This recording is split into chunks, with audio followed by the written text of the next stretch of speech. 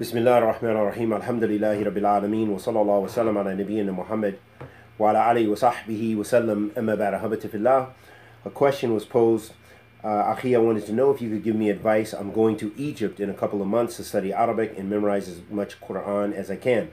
The thing is, I won't be able to go to any classes around because the closest Salafi Sheikh is 20 minute drive. Should I focus on Arabic and Quran and get a basic understanding of Aqidah and Tawheed so I know what is obligatory upon me to know? Uh, first and foremost, it depends on the situation of the individual. If you're like a new Muslim and you don't have much background in Aqidah, then of course you should take you some English books and text with you that you can uh, study your uh, uh, and go through explanations from the students of knowledge or those translated durus from the scholars of Ahl Sunnah. And that'll help keep you developing in uh, Aqidah and protecting you because there will be a lot of things you'll encounter. Secondly, uh, since you're going to Egypt, uh, I don't know the length of time you're going to spend in Egypt, but no doubt focus on your Arabic and your Quran. Focus on Arabic and Quran as much as possible and do the other supplementary reading as well. So they don't have to ta'arud, they don't have a, a contradiction there.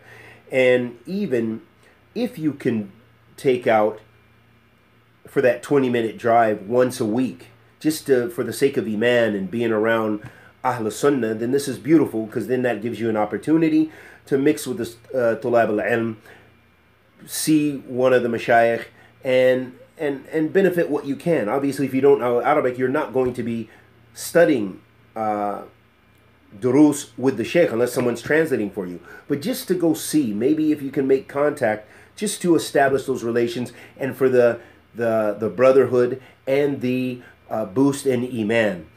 Uh, so for that sake, there doesn't have to be a contradiction there as well. So try to just benefit from your time. Don't waste time. That's probably the most important thing. Be consistent. If you have only a few months, then you really need to focus on your Arabic and Quran as much as possible. Uh, at least learning how to read the Quran and your Arabic because you, you can continue your Quranic studies. Maybe it'll be difficult for you to continue your Arabic studies when you go back to your country. Uh, but anyhow, the most important thing is to be consistent and strive your best and uh, don't waste time. And with that being the case, do not uh, get caught up in debate and discussions because what happens, and I've seen it countless times in Yemen, brothers would come, some brothers would prohibit themselves from khair because they would say, oh, this Arabic program here is a Hizbi program. This is an Ikhwani program. And instead of learning Arabic, they didn't even, you know, would spend so much time not learning Arabic, and maybe they learn from someone who might be good and might, they may not be consistent. The person may not be consistent. The person may may or not be strong in Arabic, and they end up just talking and hanging out and so forth. So they end up cutting themselves off from good.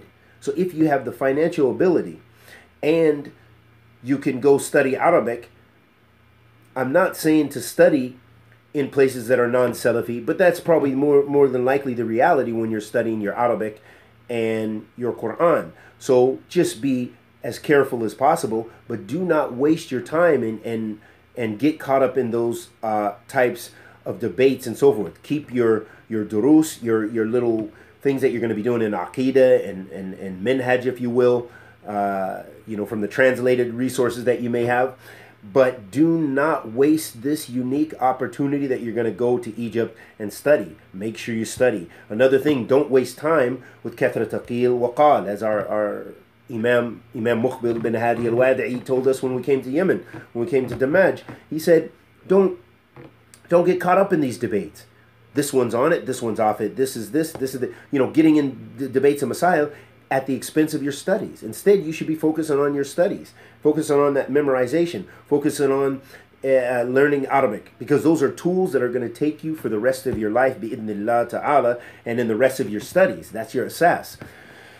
Um, so don't waste time and stay away from time wasters, even if they are Salafi or they claim they're Salafi. No. Be with those people who are going to benefit you in your Iman. Be with those people who are going to benefit you with your time. Uh, likewise, uh, and of course, avoid the sins and the ma'asi.